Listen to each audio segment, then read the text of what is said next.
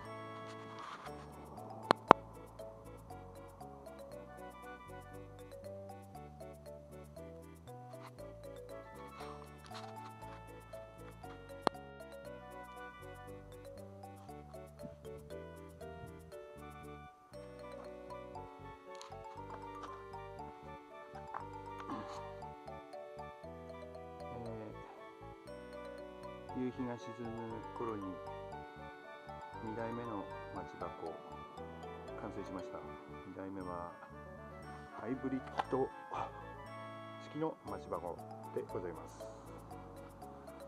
昨年丸太を1個だけ中身をくり抜いたのがありまして、えー、それをちゃんと町箱として組み立てました、はい、真ん中の茶色い木はいらなくなった大きなテーブル。こたつかねテーブルを解体した時の、えー、と切れ端です。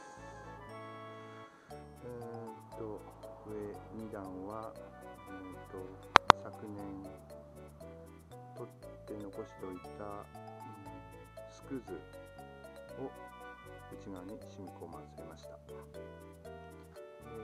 ー、と指紋は丸太の方に1箇所だけ穴を開けました。えー直径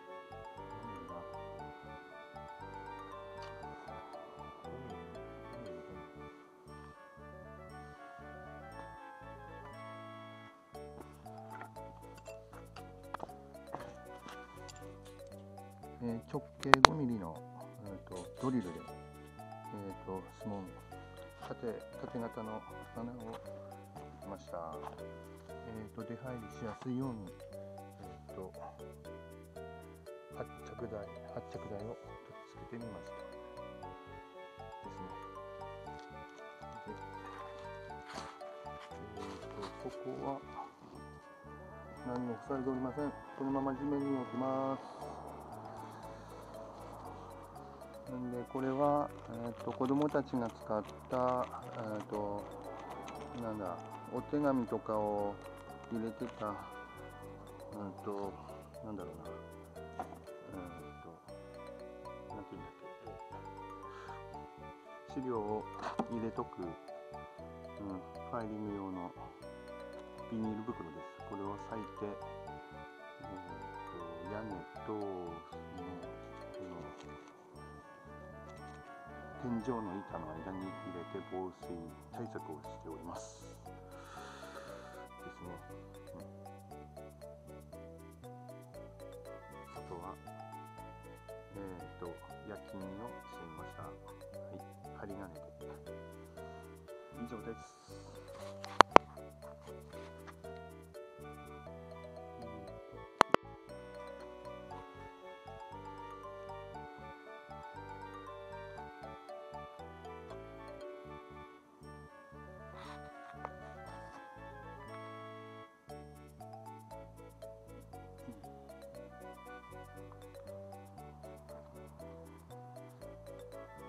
まあ、中箱3代目はキウイフルーツの木のそばに置きました。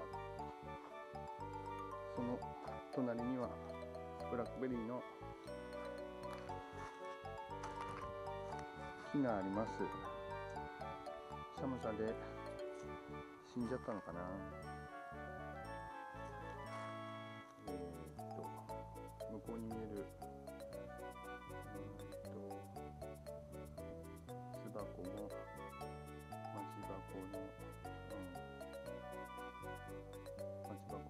day.